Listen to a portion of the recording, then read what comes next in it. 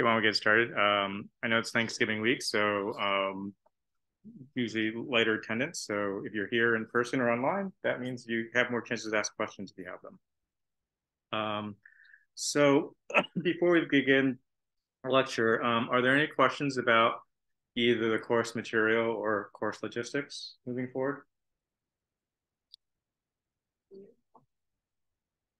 There is class on Wednesday. At least I will be here.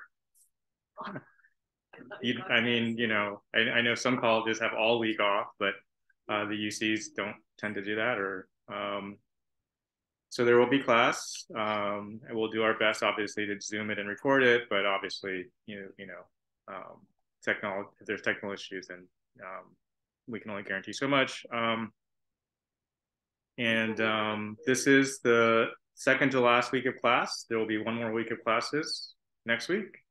And then following that is final week. And there's no final in this class, but there is that final project. So if you're presenting live, you would need to be at that final exam session. Um, and even if you're not, you can come out and support your classmates. Okay. Um, as I mentioned last time, there are, um, because of the current situation, um, the grading of the, the homeworks that have already been turned in is sort of paused. I, am going to wait to see if things change in the next week or so. Uh, if things do change, then the TAs will hopefully grade them. If not, then I will sort of do a fairly light grading before the end of the quarter. But I apologize for that. That's certainly not something that we anticipated. Um, there is one last homework assignment, but it's not, it's sort of, as I said in the um, announcement, it's basically being sent out problem by problem as I make the problems. Um, and so that's not due till next Friday. Um, you know, at, at, sort of midnight, the usual time. So you have, you know, basically two weeks to do that, but obviously use your time wisely. Uh, just to give you the sense, um, they are all MATLAB problems where you write a little function um, and it's self-graded and you have as many attempts as you want to just keep submitting and until you get it right. So um, you should all do very well on that because you can just do it until you get it right. Um, and just so you know that the um, what you should be looking for is I, each of the solutions I've done, even even not trying to cram lines or anything, they're all less than 10 lines. So every solution I have that I've done for myself um, is 10 lines of code or less. Okay, so we're not looking at big long programs.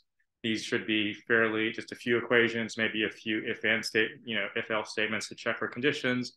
Um, you're not um, looking for any more than 10 lines. I, I, a few students have already completed it, so I know that they do work and, and they have been debugged somewhat, but if you have any issues, let me know. Um, so yeah, and I am thinking about um, probably not this week because there are not many people, but given the situation, probably, you know, I'm thinking it might make sense to offer more office hours next week that I could offer on Zoom. Uh, I see some nods, so I'll send out a survey and probably evenings are best. Is that right? Like if I do the office hours in the evenings, otherwise it conflicts with classes. Okay. Anyways, I'll send out a poll, but it's I, I, I see some nods and no no no's or but um so that's good. Um so anything else on class course logistics? So don't forget your project um descriptions are due by this Wednesday. Uh I tell I'll try to give feedback. The ones that have been sent in, I've already given a lot of feedback. I know there's a few outstanding. I'll give feedback on those. Um, if you look at the Google spreadsheet, um, green means you're good to go. Uh, if there's no color, it means I haven't gotten anything from you. And if it's orange, it means we've had some interactions, but I'm really not clear. I never got a reply to my response. So I'm just sort of waiting to hear what your final project is. Okay. So if you are one of those orange ones, just send me a note saying, yeah, this is what we plan to do. Okay. Uh, and um, it should be fairly straightforward. Okay, are there any questions before we, yes? Are these slides posted? Uh, these slides, are these not posted? They are posted. In week nine? Yeah, everyone sees them? Yeah. Okay, good. All right, so we're all good? Okay, great. Okay, so today what we're gonna do is, uh, it's MR lecture six, uh, we're going to do our, just, we're going to talk about slice selection and then relaxation, gradient echoes and spin echoes, image contrast. So that'll get us through sort of the bare minimum of what you really need to know about MRI just in terms of how MRI works. Once we're done with that, we'll shift gears a little bit and talk a little more, sort of get you up to speed. This is everything you've learned up to now is what I would call classic MRI, classical MRI. Um, but we're now already in the postmodern phase. you know, we'll talk a little bit about what's modern MRI, what's postmodern MRI. This is sort of like circa everything up we've done up to now is like circa 1980s, early 90s MRI. Okay, which was what people needed to get MRI off the ground to start doing clinical exams. Um, but since the 90s and especially even more recently, there's been a lot of advances. So we'll want to touch upon those just so you have a sense moving forward uh, what's what's current. But the the basics are still good to know. So yes. Uh, I don't know if you have time, but there's one for the quiz. I, the pre-lecture quiz. Yeah. We're gonna do that right now. uh, at least in the last two. yeah. Okay. So yeah, so that's that's that's good. So basically, let's go over the quiz. So yeah, so generally, there's generally one one quiz that, and I never know which one it's going to be. It differs from class to class. Where so the performance on this quiz was the lowest it's been. It's like the average score was 58 percent, which I'd like to have them about 75 percent, right? Um, now, just to ease your mind, realize each problem is only worth like 0.1 at most 0.1 points, right? Because all the quizzes together are three points at most, and then there's 30, and they get so. So don't worry. I mean, these are meant to help you, and it's meant to help me also see what's going on with the class. So definitely, when I saw these results, I realized, oh yeah, we'll, we'll definitely spend some time going over that. Okay. So we'll actually spend the next five or 10 minutes going over the quiz. Um, at least what sort of what went wrong. I'm not necessarily going to go over the, the answers, but I'm going to go over the concepts that I think were, were missed. Okay. Okay. So remember, we have these design rules, and here I'm summarizing it to show you basically there are really only six equations you need to know for classical MRI. Okay. There's how to determine delta ky and delta kx, how to determine wkx, and I, I fortunately put the x and y in different order, but that's okay. Uh, and then wkx and wky. And so these are sort of, this covers aliasing, this covers resolution, and then this is um, basically where you are in k-space and how it's related to the gradients. Okay, so everything we talk about up to now is covered by these six equations. And you can see they're fairly simple equations, but even with those equations, you can have a lot of complexity. So we talked about this a little before. What we mostly focused on is going through a Cartesian, okay? So going line by line by line along a Cartesian k-space. And in a, in a spin warp, the initial dephaser took us from the center of k-space out to each starting point, and then this was the readout direction, okay? And so for the spin warp, we went through some, some design of each of the gradients, okay? And that applies to the spin warp pulse sequence. And so we're essentially applying these principles to the spin warp pulse sequence. Now, those are not the, the equations that you would use for any of these other sequences. Okay, all these other sequences, you would apply the same principles, but the exact equations you come up with will be slightly different. So for example, on one of your homework problems, in a MATLAB problem, you're asked to design like this trajectory. Okay, it's actually pretty simple. It's less than 10 lines of code. Okay. Could be doing in five if you wanted to. Um, but you cannot apply the spin warp equations directly to this. So don't make that mistake. The good thing is it's a self-graded thing. So if you do that, you'll you'll just say it's wrong, wrong, wrong. And so at least you get the feedback and you know not to do it. Okay. So that's I just want to give that general overview because one one common mistake that people first starting MRI do is they go, oh, okay, I know these equations, and it's what we all do in school, right? We see the equations and we just try to copy them onto the next problem, right? But part of engineering in graduate school is telling you that's not the way to go. When you're teaching you the principles, you need to take the principles and apply them to new situations. Um, so that's my philosophical spiel. Okay. Uh, so now we'll get into the actual hardcore um, questions. So the first question um, was if you want to increase spatial resolution MRI, what should you do? Okay. And so one thing is this is increased spatial resolution.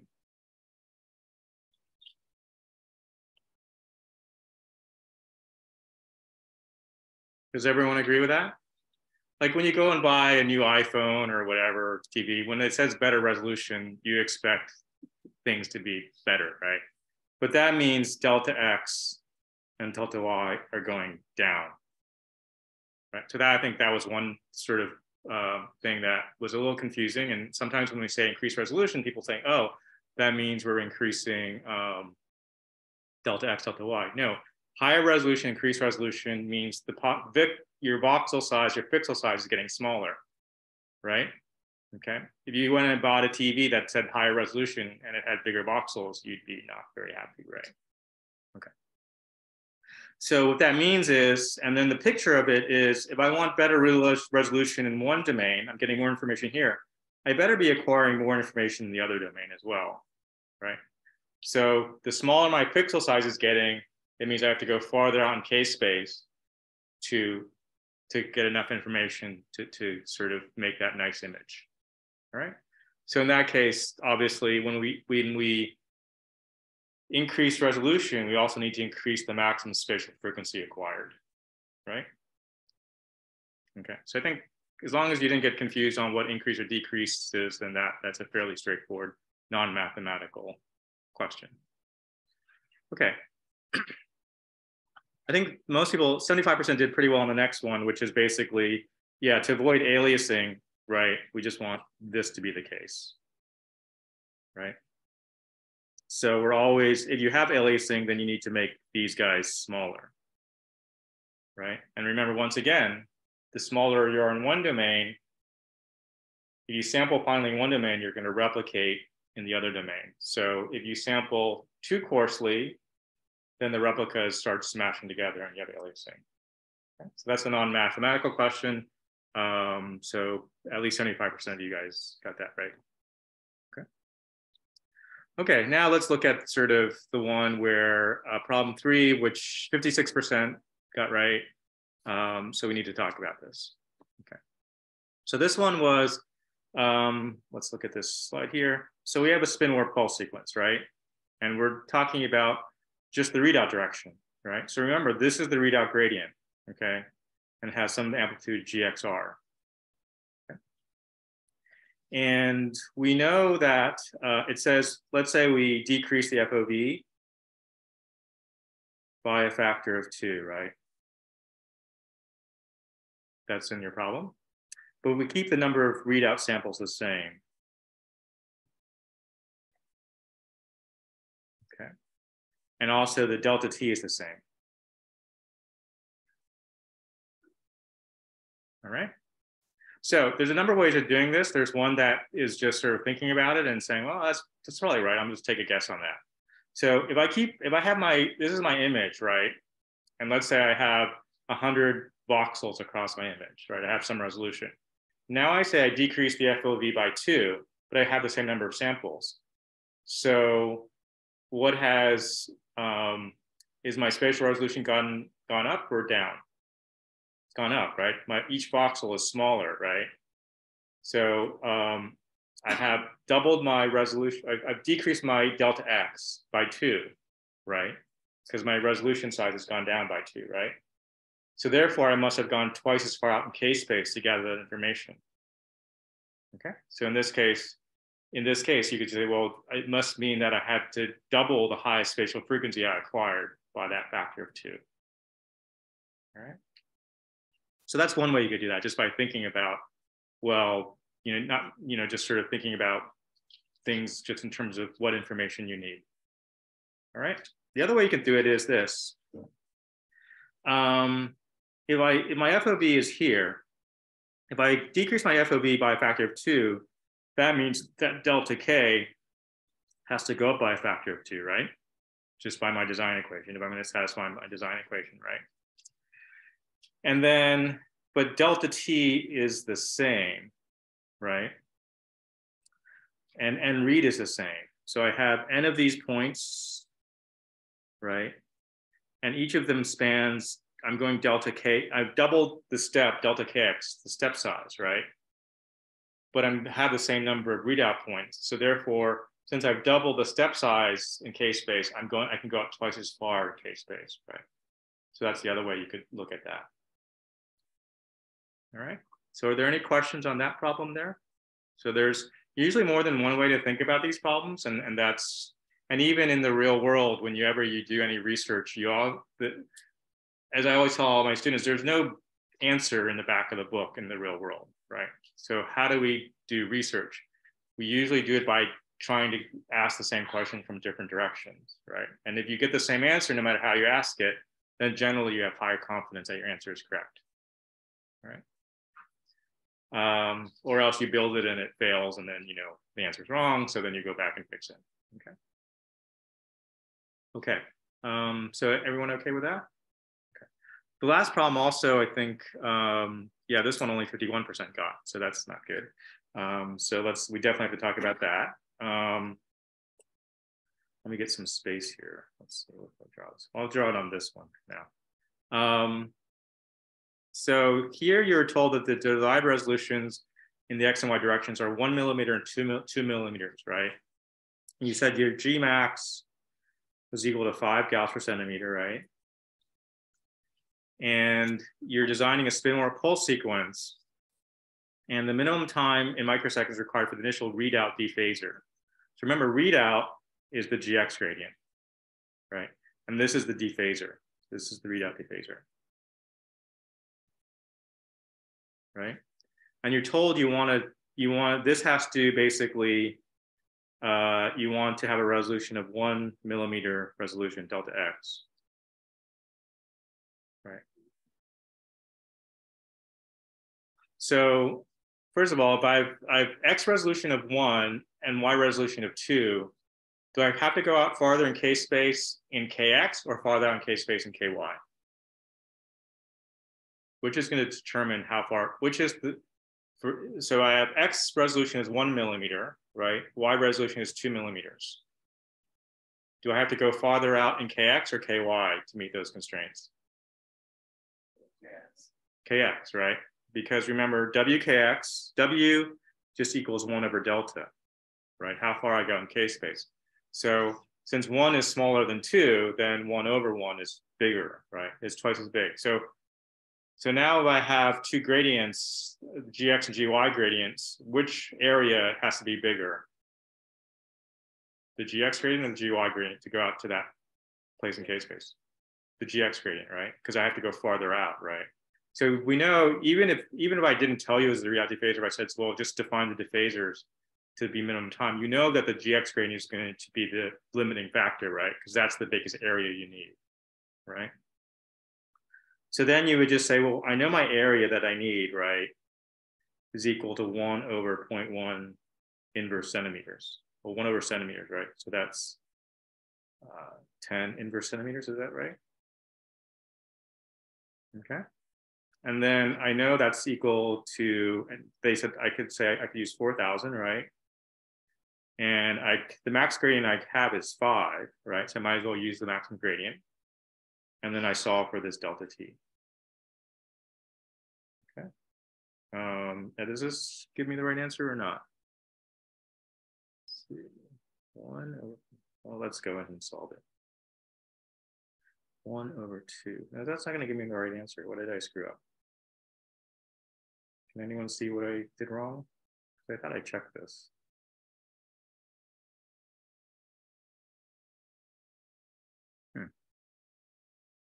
Oh, okay. Um, right, because I don't want to go out to WKX. I want to go to KX max, right? So this is for, this is the area for W, right? But for the dephaser, I only want to go out half of that, right? Everyone got that? Okay, right? So this this is WKX, right? And this is minus KX max. Okay, so uh, the area is going to be half of this.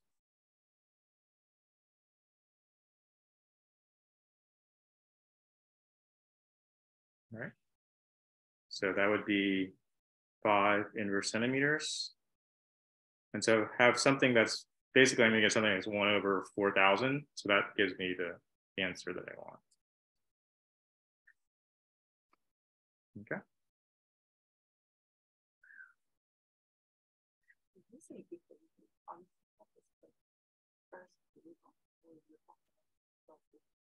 The dephaser is just, this is the dephaser. So it's like that initial shift in X before you're speaking across the X. Yeah, the dephaser is what you takes you out there at that point. Oh. Yeah.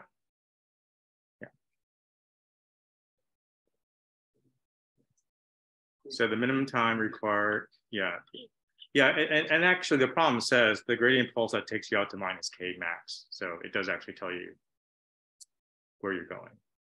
So I think the thing here is just to realize that um, even though um, you know when you're taking a course, it seems like a lot of the things like there's just all these little details that you have to worry about, like oh factor of two, oh, why'd I have to do that?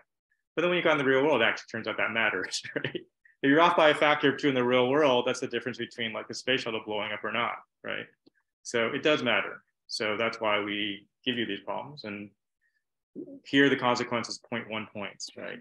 In the real world, you know, it's got much bigger consequences. So um, one of my professors in grad school, he had a line, obviously I still remember. He says, basically, um, and it's a line from some British guy from the 1800s, but he was like this guy. He was well known for like he did the most complicated linear algebra, like just like textbooks of you know linear algebra. But he would always start off with a two by two matrix and see if it works for a two by two matrix, and then you go to a three by three matrix and see if it works for a three by three matrix, and then from there you're like, okay, if it works that, probably I can generalize this to like n dimensions, right? So he always just say, take care of the pennies and the dollars will take care of themselves. Okay, so take care of the details, and usually, if you get the details right, the problem, the bigger problems, sometimes just take care of themselves. Okay, so it does, it is important to take um, care of the details. Yes. Other than the fact that it's like negative two, why that was. do we know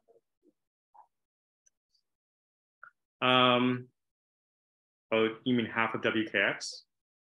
Well, I guess because you're told it's a spin warp sequence, spin warp sequence always goes out to um, that, you know, you basically, you know, you have to go to the max resolution, you have to go out to this point, right? So you know that's half of your window. I mean, it doesn't have to be, but just from what we've talked about in spin warp, we're always going out to that point and then zooming across. Okay. So was there a question? Uh, the next quiz will be easier, yes. But then I'll probably make another quiz that will ask the same questions as this quiz for the following quiz, just to make sure people get it. Okay, so that should also be easier, right? By definition. okay. um, okay, so um, yeah. Um, so the other thing I want to talk about, some questions came up at the end of last class, which I think um, if you're looking at the phase encode gradient, that's this gradient that's changing in amplitude. Okay. So I made up this new slide, which shows that what I'm drawing here is basically, th this is what we play out in time over each repetition. And here I'm just sort of superimposing them on top of each other. Okay. And the other thing that came up was this GYI is simply this increment between the gradient amplitudes between each of these successive ones. Before it looked like it was always going to be half of GYP, but it's not. It's just, in, in general, it's a very small fraction. Like if I have 128 above and 120 below, then that GYI is like this, each little increment, okay? Okay, so um, any questions on that? Okay. Any questions online? Okay, so what I want to talk about next is uh, a few things that um, are just good to know in general. Um, one is called Gibbs artifact. And what this means is, remember uh, when we window in one domain, that means we're convolving with a sinc function in another domain. So if in my object, I have a very sharp, sharp transition, like between muscle and bone or, you know, water and skull, then that this edge here represents a sharp transition in my image. And if I window, I would be convolving that with a sinc function. And what that will give me are these ripples here. And what looks like an image is, for example, here, there's obviously a very sharp boundary here between this, uh, you know, probably a thing of water and the out air. And so there's going to be these ripples in my image. So diagnostically, these can be very um, a bit sort of distracting, especially if you're looking at say cartilage or something, and or, or something, and you and you see these ripples. You want to make sure that you're trying to ask yourself, is that in the object or is that actually in the physiology, right? So one way you can get around it is you can just increase your window size, and that makes your sinc function get narrower. And so there's still ripples there, but at least they die away more quickly. Okay, so here, that's what exactly what's happened. There's ripples here, but you just can't see them because they're they die away faster.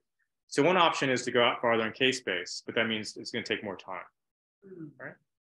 The other option, and this is um, is to instead of using a rect function, why not use something that some of you have a lot of familiarity with now from your projects, something like the Hanning window. Okay, so roll off those high frequencies instead of a sharp cutoff. So what that means is instead of the sinc function, I'm convolving with something that's a lot smoother. Okay, so now that edge, when I convolve it with that, instead of these ripples, I get this black sort of transition. Okay.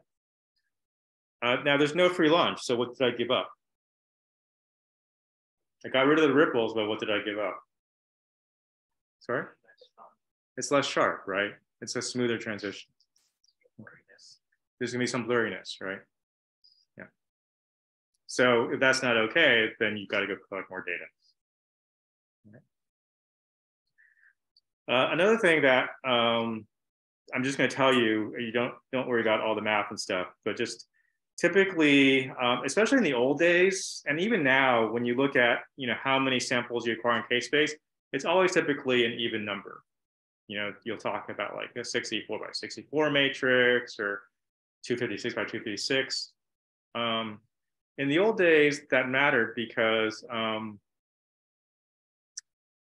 you know, we had to use FFTs or fast Fourier transforms, and they really only really worked well for powers of two. Okay, now computers are much faster. You've got GPUs. It's not much of an issue. But certainly 20 or 30 years ago, you know, you had, if you wanted your image to come up in real time, you had to use a fast FFT, okay? And so the question is, um, you know, if I, let's say, and it's, I collect four lines in K-space, so I can collect the middle line, right? And I can collect two lines above and one line above, but then if I want to collect this bottom line, then I have to collect five lines, right? And then my FFT, I, there's no FFT at least back then there was no FFT formula for five. Okay, now there's like FFTW and new techniques, but so one thing is, well, what, what happens if I don't collect this line? And it turns out that this line is actually redundant. Okay, that the that the the, the information it represents is actually represented also by this line here. Okay, based once you've chosen your sampling. Okay. And it comes down to the fact that e to the minus i pi when it goes to a certain number is always minus one whether you go this way or that way. Okay, so this is like going 180 degrees, it's like going minus 180 degrees. So it just turns out that mathematically it's the same thing. Okay. Uh, and this will go through it, but we'll, let, us skip this slide for now. The last thing I want to talk about is actually a um, very practical question is if I have a long object, okay, so far, we've talked about there's a readout direction and a phase encode direction. And in spin warp, the readout, we're going fast, and the phase encode is sort of step by step by step. So it turns out that if you have a long object, you should always put the, long, the longer dimension along the readout direction. Okay, and we want to talk about why. Okay, because let's say you put the long direction across. Let's say I have this is, let's say I did X and Y, and this is my object, right? So now the field of view of Y is really big, okay? And that means delta KY is gonna be small, right? I have to take little tiny steps in K space. So to get out to any, you know, let's say I want some resolution, to get out to that KX max, it's to take me a lot of steps. It's to take me a lot of time. Okay, so it turns out we don't ever want to do that. Okay, it turns out that if you're given the object, you always want to put the um, readout direction along the x coordinate. Okay. Now that doesn't mean like the magnet has a physical x, y, z coordinate, but that doesn't matter. You can always put the readout gradient along any physical dimension. So the the the, uh, the software will take care of that for you. It's just you being smart enough to say, okay, I want to put it on the readout direction. And why is that? Well, it turns out that this is really useful because um, in certain cases, let's say you're imaging someone's spine, right? You might only care about um, the central portion of the spine. Okay, so like if this was a person here, right? Not a very good person. And this is its spine, right? You want to only image, let's say you only want to image part of that person and you want to do sort of what's called a sagittal view, you want to look at them halfway. So you always want to put this in the x direction and this in the y direction. Because it turns out that, as we'll show in a minute, we can basically eliminate the contributions from those spins that are outside. Okay? So we can actually, if we put things in the readout direction, we can actually make the field of view smaller. And how do we do that? Well, remember when we have the readout gradient on, there's a gradient right? And so let's say this is the part we really care about imaging. And this is the isocenter. So the spins here are uh, at omega naught. Okay. The spins here will be omega naught plus delta omega, let's say. And let's say the spins here are omega naught minus delta omega. So a little less frequency, okay? So there's some frequency range spanned by this, right? And so they're in this some frequency range. Now let's say here, let's say the stomach, that's going to be at say omega naught minus some other, let's say omega L. Okay, so it's going to be outside some, it's going to be at a, some lower frequency. So the signal, remember the MR signal is essentially just this signal that's coming in, right, over time. So we should be able, and that has some frequencies to it, right? And those frequencies are determined by these frequencies. So it's saying there's some component of my signal that has this frequency, some that has this frequency, some that has this frequency, and some that has this frequency. So what I'd like to do is I just like to say, I only want to keep part of my signal within some frequency band. Okay? And everything else I will filter out. And so what we do is we use what's called a low pass filter. Okay. Uh, in the old days, it was probably analog. These days, it's all digital. So we'll just use a digital filter to just get rid of that. So, so that's really cool. That means that we can essentially say, just give me this part of the field of view and everything else I can get rid of. So I don't have to sample as much, right? My field of view can be a reasonable number. Uh, so this is just what it looks like here. So remember we showed you before, we have an RF signal, we have these mixers, and then these are the low pass filters. Okay. So in fact, it turns out if this is the actual field of view, if my low pass filter has a smaller bandwidth, then it gives me this smaller, my output would have that smaller bandwidth. Okay. So that means that there should never be aliasing in the readout direction. Now, the, the, the fact of the matter, that filter is never perfect, right? There's gonna be some roll off. So you can't really get right up to that. So that's, you in practice, you have to make it a little bigger than what you want but at least you're not having to make it really big. Uh, so one se sequence that this comes, like this is a MPRAGE is, is a sequence that's used all the time to get really nice images, typically of the head. And this comes up all the time. So this is, anytime this is done, this is always the readout direction. Okay. And the reason for that is you have someone's head on their body and their legs and stuff and their arms. You basically put this in the readout direction so you can basically just keep this part and filter out all this part. Okay. And so that's uh, a very um, something that um, is done um, all the time. Okay. So that's just something just for your knowledge in terms of you know how uh, some of the one of the details of MRI. But it also gives us a nice segue into the next topic, which we're going to get into, which is slice selection. So slice selection is another bread and butter technique. Um, be, we mentioned a little bit, it's essentially In CT, obviously it makes sense. You can go slice by slice by slice, or with a spiral, you know, you can reconstruct the data later. In MR, there's two main ways of collecting data. There's 2D and 3D. Okay, 3D means you do a 3D Fourier transform. Okay, you, you collect data in 3D K space. And so it generally takes longer because you've got to acquire both KX, KY, and KZ. And that's going to take time. So for a lot of things, especially where you don't have time and you want to go really fast, you want to do slice by slice by slice by slice by slice by slice. Okay. And then you encode each slice. And so it basically you're dealing, dealing with a lot of little 2D problems. Now it turns out between those two, between 2D and 3D, there's also like two and a half D. There's there's techniques that sort of merge the two. Okay, so there's lots of tricks um, that people have come up with over the years, um, which actually the, the sort of the two and a half D is something called simultaneous multi-slice, which basically excites like five slices at a time and just sort of goes through like that. Okay.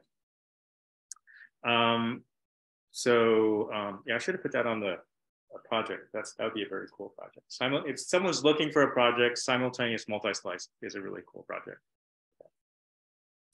Um, so let's review what we mean by our RF excitation. Um, remember, um, the equilibrium magnetization is always aligned with the B, not main field. Okay? And then we excite the spins so that they come away from their equilibrium magnetization and then they precess around so we can have a nice signal that we can pick up with a coil over here. But so far, what we've talked about is exciting all the spins. So if I put a body in there, I apply this pulse, all the spins get excited. So I have a 3D volume of spins, and that's what I'd be imaging. So what we want to do is say, I don't want to excite all the spins. I want to leave most of the spins alone. I just want to excite spins in a certain slice. Okay. And so that's shown here. Uh, and that's what's called selective excitation. So non-selective is what we talked about before, that non-selective is all the spins are tipped or, or excited. And in selective, you can sort of see only these spins have been flipped over. If we look at the M sub z, before excitation, M sub z is, let's say, M sub naught everywhere. After excitation, only the spins within some delta z go to zero. That M sub z component goes to zero. And if we look at the transverse component, that transverse component goes to M sub one. M some not, sorry. Okay. So basically, I'm zeroing out my longitudinal magnetization and I'm maxing out my transverse magnetization using this selective excitation. And so the key is that, let's say we want to slice here, right? We want to turn on what's called the slice select gradient. Okay, and by definition, this is always going to be along the z direction, okay, just by convention. So that means if I have a gradient, then spins will precess at different frequencies, right? So I want a pulse that's only going to excite spins within a certain frequency, right? This is another look at it. If I have a gradient in the z direction, then remember once again, I have something precessing. In this case, we'll use f naught. This is at f naught plus, uh, let's call this delta f over 2. And this would be at f naught minus delta f over 2. Okay. So that, let's say that these, these are my slice, the boundary of my slice, right? That means that to tip these spins over here, I have to give my, my signal have to have some component at f naught. And to keep these spins here, that has to have some component f naught plus delta f over 2. And similar for here, I have to have some component of my spin, my signal at f naught minus delta f over 2. So that means that if I look at the bandwidth of my signal that I need, it's got some bandwidth here. Okay, and that bandwidth is given exactly by this formula, gamma over 2 pi gz delta z. This represents the, the delta f that I span with this gradient, okay? That gradient creates a delta change in frequency of that amount where it depends on both g sub z and delta z. So great, I know I want some electronic, some radio frequency signal that has this bandwidth. Okay. So that means in the Fourier domain, it's going to be a sinc pulse.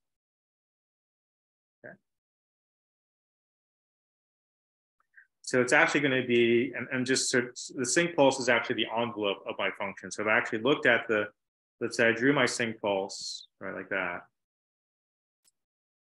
then actually what's played out is a very high frequency thing that's modulated by that sinc pulse. Okay, so the sinc is the envelope. And then this, the thing here is at omega naught, at say at F naught, which is oftentimes called the carrier frequency.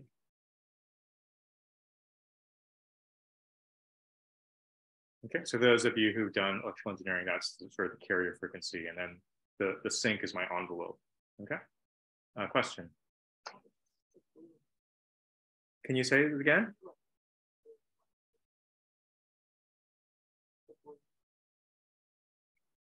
Uh, sorry. Blue line. Uh, yes. Sorry. What? What? Oh, what is this blue line? Oh, this represents uh, the gradient strength. So this is just saying that the field is, so this is a function of z. So this is, and this width here is delta z. And then this is just showing, if I have a gradient field that's increasing the gradient strength, the, the B field here, then uh, this would be at, let's say, let's say this is at B naught, right? So here at the isocenter, I'm gonna be at B naught, right? So my frequency is just gamma over 2 pi B naught. Okay, F naught is that. Okay. Here I am at, at this point, I'm at B equals B naught plus GZ delta Z over 2. Okay. So my frequency is going to be F naught plus gamma over 2 pi gz delta z over 2. What is the x-axis? Um, this is just showing the frequency. Okay, so it's basically showing that if I'm a spin here, I'm at some frequency, right? And if I'm a spin here, I'm at some frequency. And if I'm a spin here, I'm at another frequency.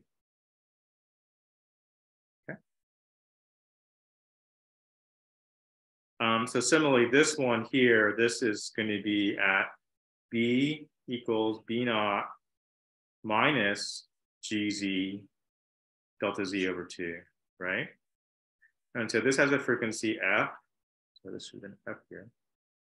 F equals F naught minus um, gamma over 2 pi GZ delta Z over 2. Let's call this the low frequency let's call this the high frequency, right?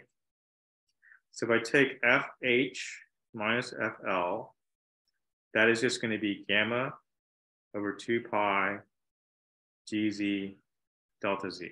So that's the difference in the frequency between those spins at those two points. And this is basically my delta F, okay, which all, we can also call that the bandwidth. So that's the desired bandwidth of my signal.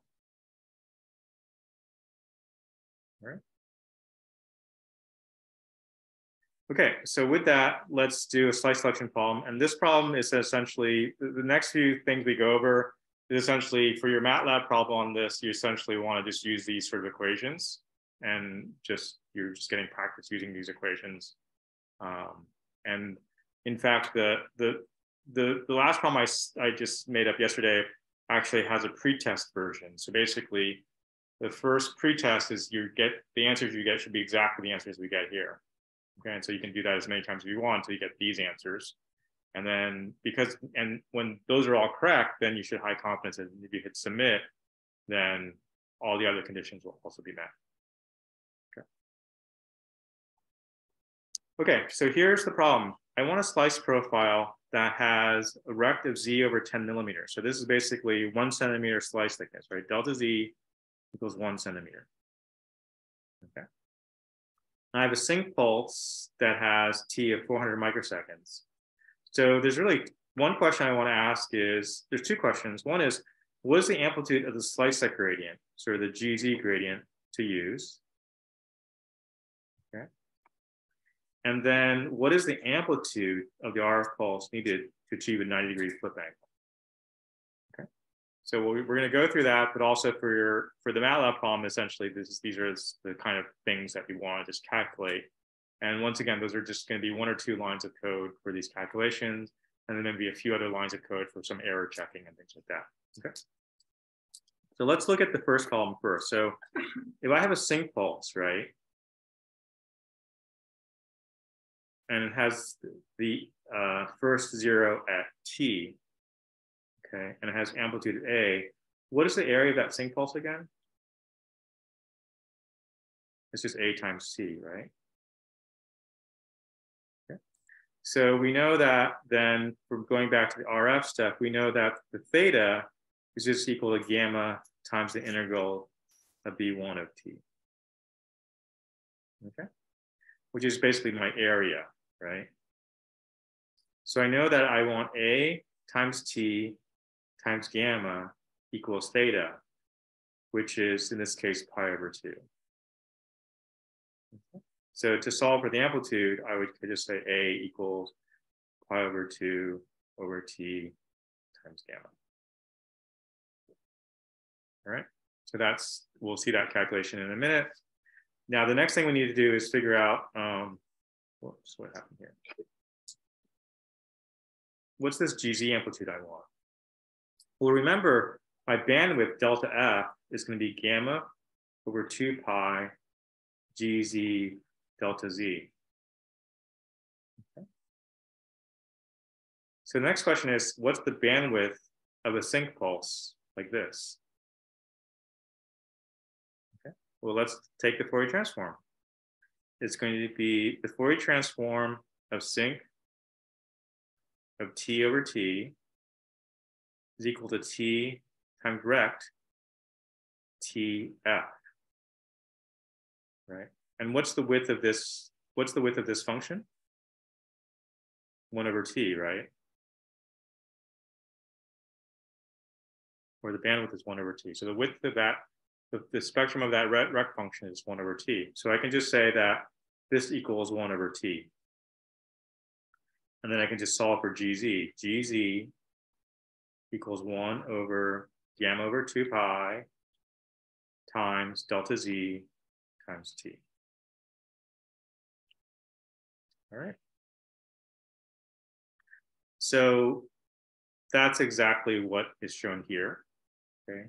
So that's exactly the formula that's shown here. Okay. And this is also showing that that's bandwidth. All right. And this is showing that um, that this rect of f over bandwidth turns out to have sinc of bandwidth times t times sinc of t over tau. And this is just reminding you of the Fourier transform of the sinc function. All right. And so in that case, if we get G sub Z, so when you do your MATLAB, you know that this is one of the answers you should get when you put in these parameters. Okay. The other one answer you should get is this one. Okay. Using the formula we just derived. All right. Okay, any questions before we move on? So why don't we actually do um, a couple problems in class just to make sure uh, you get this. Um, and uh, there will be a problem like this on the next pre-lecture quiz, but hopefully if we do these problems, this, this will be, more people will get it, okay? Okay, so you have designed an RF sinc pulse excited slice that is two millimeters thick with a slice like gradient of two gauss per centimeter. The user decides to double the slice thickness to four millimeters. If the parameters of the RF pulse are called, kept constant, so that's like the, A, the amplitude and the T, what should the amplitude of the slice select gradient be changed to? So this comes up all the time on the scanner, right? Someone just changes the slice thickness, so you're trying to figure out what's going on behind the scenes. Okay, and it's also a good sanity check when you do your problem. Um, if you like double um, the slice thickness, you should see what happens to your gradient. Okay. Yeah, so go ahead and online, there's a poll in class. We'll do a, an audio poll real quickly. Uh, so take a minute or two and feel free to discuss this. Um,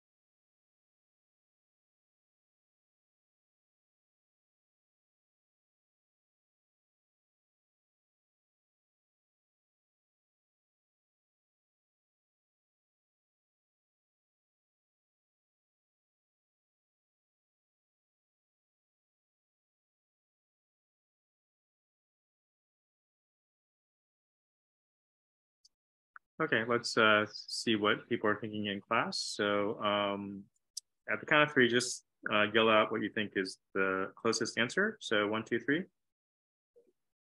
Okay, so it sounds like A. Uh, online, it's about equally split between C and E. Um, so let's see which is the best answer. Okay. So the R pulse is kept the same, right? So that means that this T is not changed, right? So remember T, the bandwidth is just one over T, right? So it means the bandwidth has not changed either, right? We know the bandwidth is just gonna be gamma over two pi times GZ times delta Z, right? So delta Z, we went up by a factor of two, is that right? So what do we need for GZ to do to keep the bandwidth the same? Yeah, half it, right? So that would give me A. Everyone okay with that problem? All right, I think this is slightly harder, but good to do. Uh, now you design an RF pulse with the first zero at T to excite a slice that is two millimeters thick with a slice gradient of two gauss per centimeter. The user decides to double this thickness to four. Now you're keeping G sub Z the same. Okay, now what do you need to change with the RF sinc pulse? And so here you can see you have to both change the width and maybe do something to the amplitude, or maybe not change anything. Okay. So let's go ahead and do that. I'm going to relaunch the poll.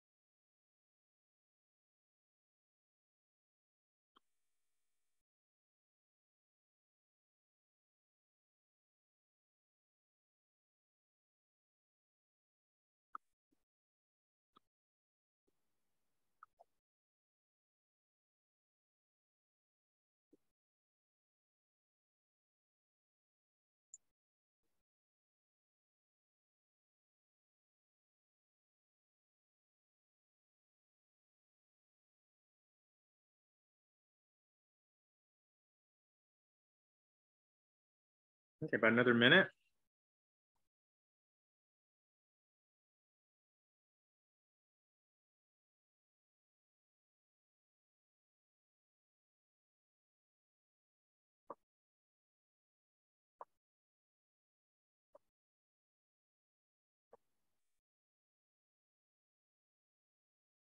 Okay, let's um, pull in class. So at the count of three, just say what you think is the best or closest answer.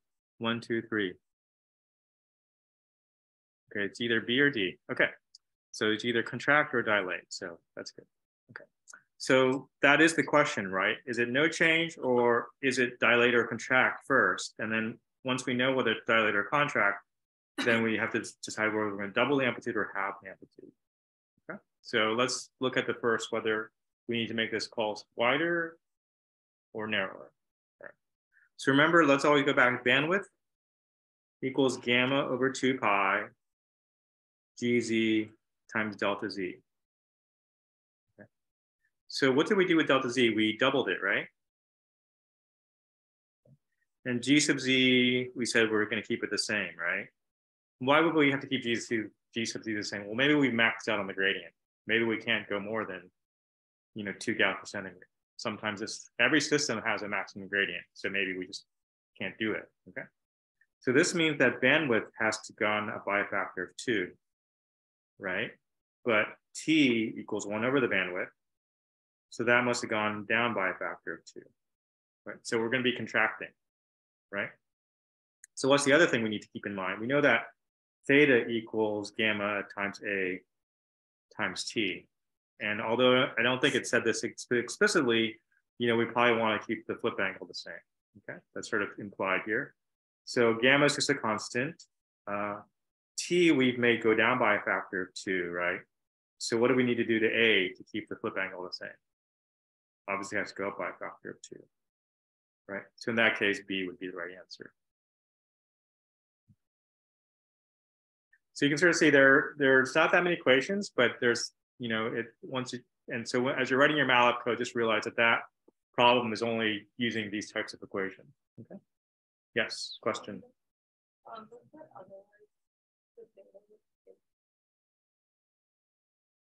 Um, you mean in this problem? Yeah, I mean, uh, to be a better question, it's just, you should say theta is constant. Yes. Okay. Okay, any questions on that? All right. Um, I think that's all the math we're going to do for today. Now we're just going to tell you things. okay. Um, and get ready for next time. So uh, let me just explain uh, how what we just did sets into the context of actual MRI. So typically when you look at the envelope, you will see sinc pulses all over the place in MRI. Okay. Now in our class, in our example, and in your homework problem, you can assume an ideal sinc that goes from minus infinity to infinity, right? In real world, obviously, we have to do a truncated sinc. Okay, so you typically see some sort of truncated sinc. It's typically going to be a sinc function multiplied by like a Hamming window or a Hanning window or some function that smooths it down. Okay, this is a slice left gradient that we just also talked about. And what we didn't talk about is slice refocusing gradient. It turns out that if you just play this out, you don't nothing turns out and you actually need to refocus the spins to get everything to line up before you can work with it. Right? And then this, these are the gradients that we talked about for the spin warp pulse sequence. So all these things together are essentially, that's the basic thing you need for an MRI pulse sequence. Okay.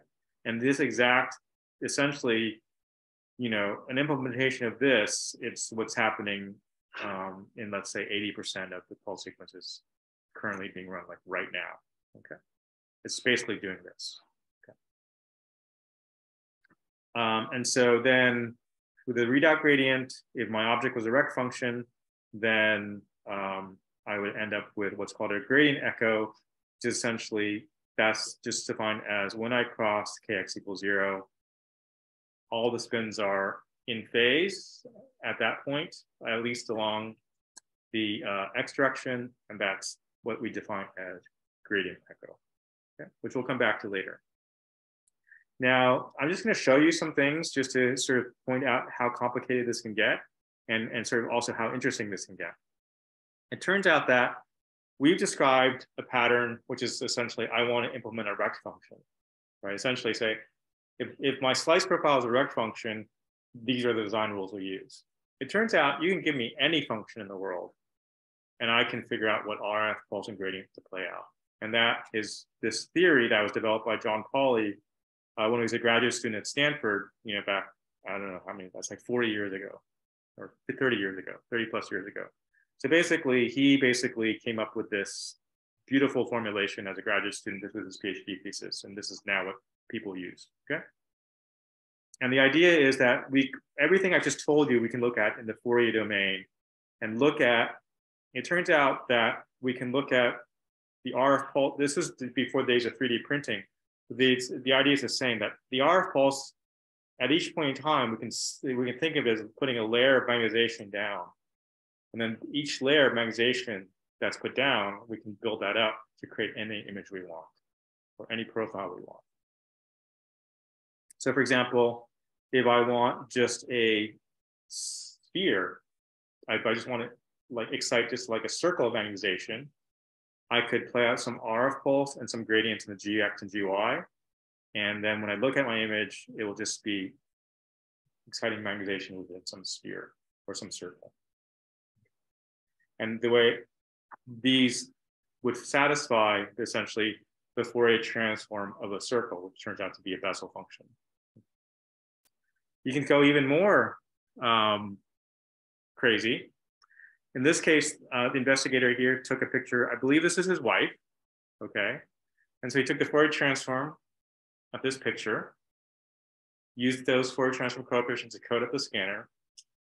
And then this is essentially imprinting a pattern of his wife's picture into the spins and then taking, taking an MR image of those spins. And so this is what he got.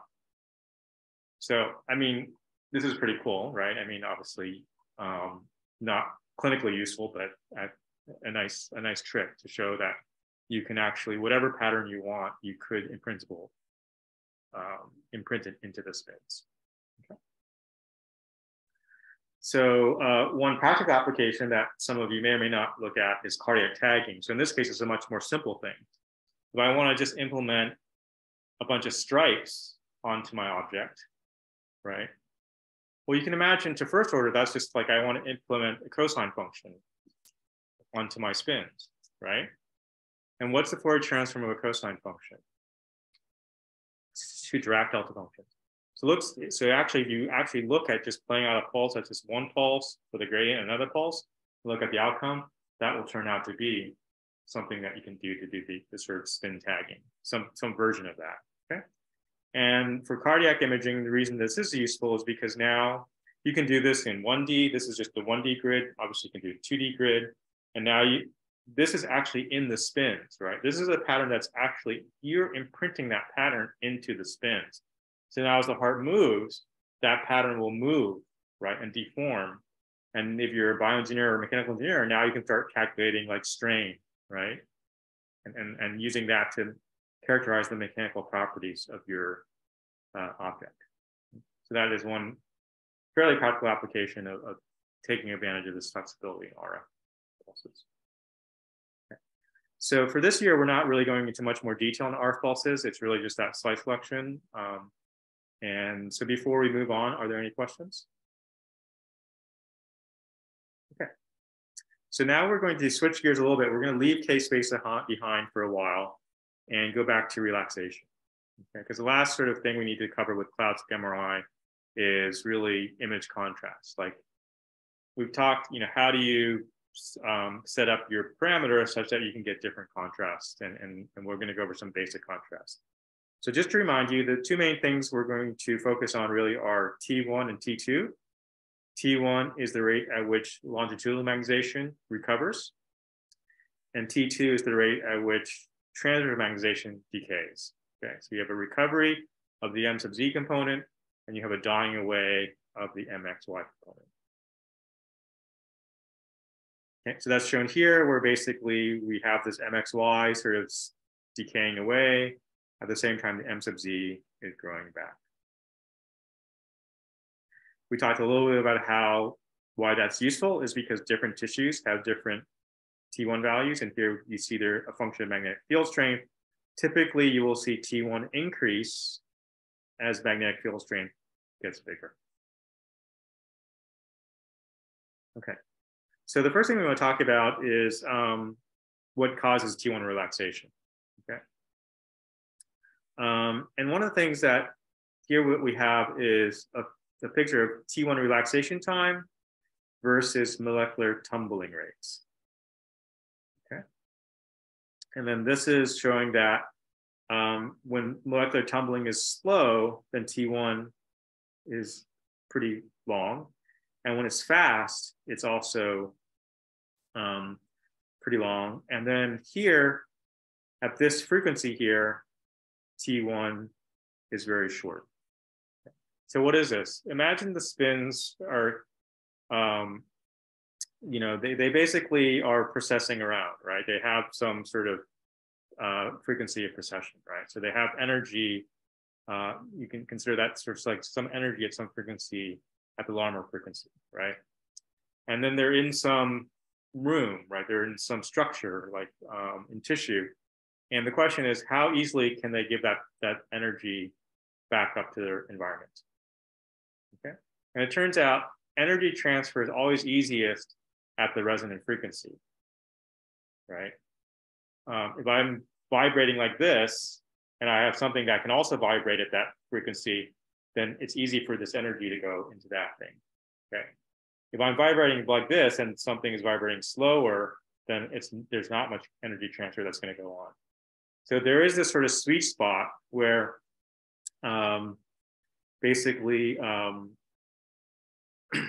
if I if if the um, if I'm at a, the right frequency, um, and then every sort of uh, tissue sort of has its own sort of tumbling rate frequency, um, then that's that's a sweet spot. So that's shown here, where example, uh, it's what's in this MRI questions website they call it the Goldilocks principle, right? You're either uh, too slow, too fast, or just right. Okay, and when your tumbling rate is just right, and so this case, bound water typically has the right tumbling rate. Free water is tumbling too fast, uh, ice water is tumbling, or macromolecules like fat are tumbling too slowly, right? They're really bound. They can't really move that fast. So it's really an interaction between what frequency the spins are at and what frequency the molecules are at. And so there's the most efficient T1 relaxation near F naught or the Larmor frequency. Uh, for example, let's say, you know, I think everyone has probably played on one of these things at the playground, right? It's like one of these turning things, right? And let's say there's people already on that, right? So if you're going to jump on one of these things, you've got to be at the right rate, right? To transfer, to get onto that. If you're going too slow or too fast, you're just not going to be able to get onto the, um, that turning thing. And so the same thing with T1 relaxation. The T1 relaxation is most effective uh, if your Larmor frequency matches the tumbling rate of your environment. Okay. So why? So what does that mean? Well, imagine you're here at some Larmor frequency and you're within sort of the tumbling rate and, and a lot of tissue is mostly water, right? So really water is the dominant tumbling rate that you care about. So if you're within that regime, then yeah, there's going to be pretty good transfer of energy. Okay. But now as people go to higher and higher field strengths, we're starting to move out of that tumbling rate region, right? And there's less of this water. There's more, there's some free water, but there's not much free water in the body, right? It's typically bound to something. So that means that there's going to be less probability of an interaction that can give the energy back to the environment. And so that's why you see this increase in T1 um, as the field strength increases. All right. Um, one thing that's um, very characteristic, as, as we talked about, Fats and oils typically have a very slow tumbling rate. So typically T1 is quite short in fat. So I think if you go back and look at this one, so see fat has the lowest T1s, right? Okay, at least in this plot. Um, so that's sort of a brief overview of T1. Now let's talk a little bit about T2. Are there any questions about T1 first before we move on? Yeah, don't see anything online. So let's go over T2. T2 also has a range, but you can sort of see here, there's this sort of outlier here. CSF stands for cerebral spinal fluid, which is very fairly close to just free water. Okay, it's got other nutritional stuff in it, but it's it's very close to water, much more water-like than any of these other things. And so you can sort of see that anything that's liquid tends to have a very long T2, and especially things that are um, less mobile will have shorter T2s. So let's talk about what causes T2 relaxation. So T2 relaxation is caused by, if, if I start off at time equals zero and the spins are all aligned, T2 is about how quickly these spins become out of phase.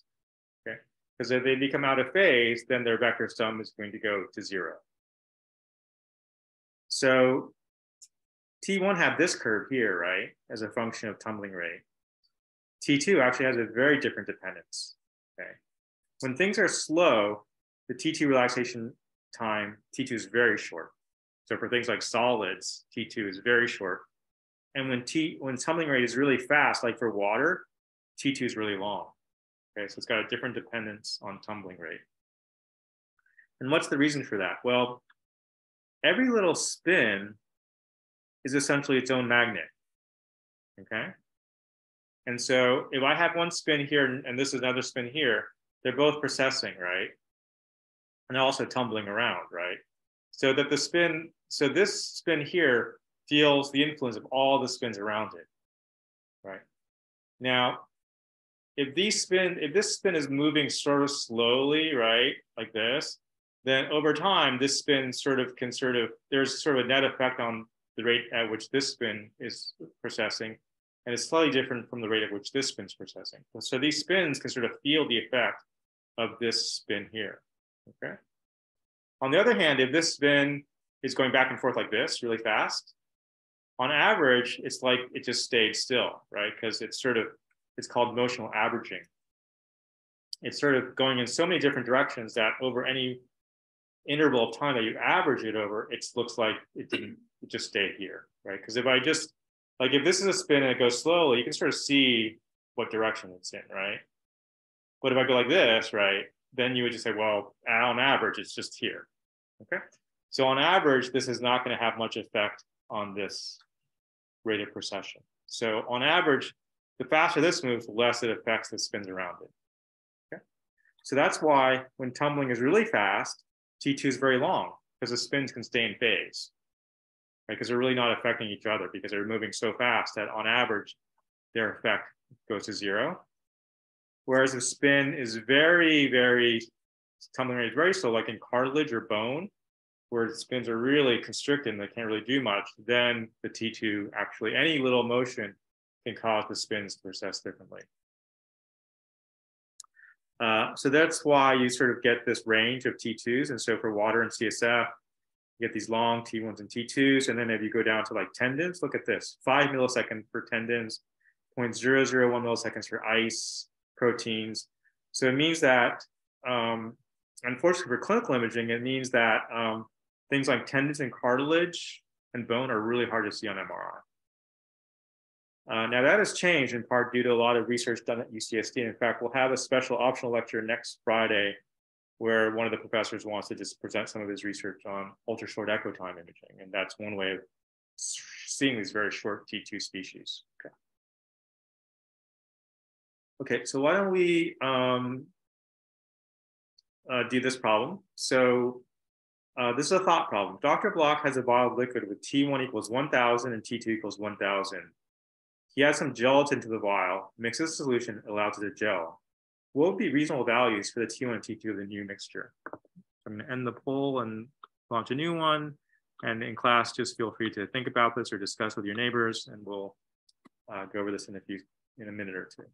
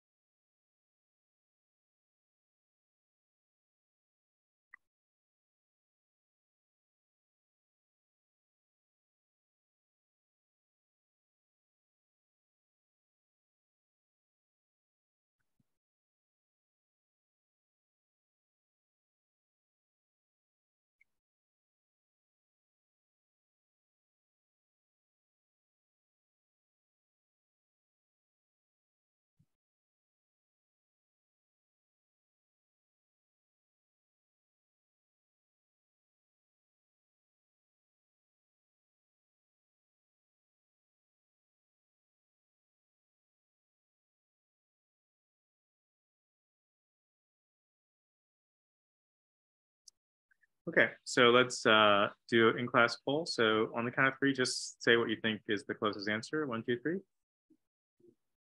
Okay, I heard some D, some E, maybe B. So probably more towards D and E and online about 30, 40% D, 40% E. Okay, so let's look at this. So, so the key is it's going from liquid to gel, right? So we know the mobility is decreasing, right? We also know from previous lectures that T2 has to be less than T1. Okay, or less than or equal to. Um, so mobility is going down, then what do we expect to happen with T2? So also go down, right? All right. So we're really looking at, so any of these probably is possible, but this one, T2 is greater than T1, right? And this one, T2 is also greater than T1. It's probably gonna be one of these two, right? So let's think about it. Is there any way we can tell which one it's gonna be? So we know that there's the sweet points, sweet spot for T1, right? T2 is pretty easy. We know we know we're going to go this way, right? On mobility, right? So here um, we say we're a liquid, right? So we're probably out. If we're in water, if we're talking about sort of typical uh, Larmor frequency, we're probably in this regime here, right? And so if we move down this way, you can imagine we probably be in a regime where T1 is getting smaller, right? but it's somewhat ambiguous, right? Because we don't really know what Larmor frequency we're at. We could have been, you know, in a regime where maybe we're here, which case we would go up this way. So in this case, since it's an in-class problem, I'm leaving this ambiguity just to point out that in actually you're not given enough information here to really distinguish well between D and E, right? Um, sorry, or sorry, it's uh, which are the ones that it could be? DRE, right? Yeah. Um, so it could have gone up or it could have gone down. Now, if I really was forced to choose, I probably would pick D simply because given the examples, we free water is out here, liquids are out here, and we'd probably be moving into a gel regime here, more the bound water regime, given the field strengths we're talking about. But if we're talking about really low field MRI, then we would have been down here anyways, in which case, go up like that.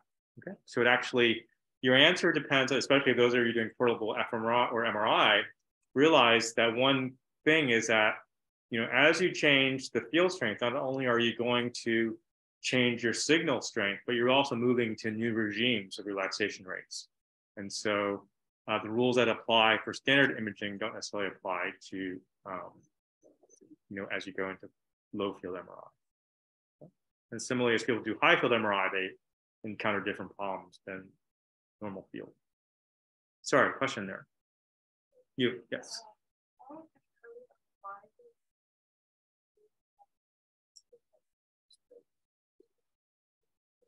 Oh, right.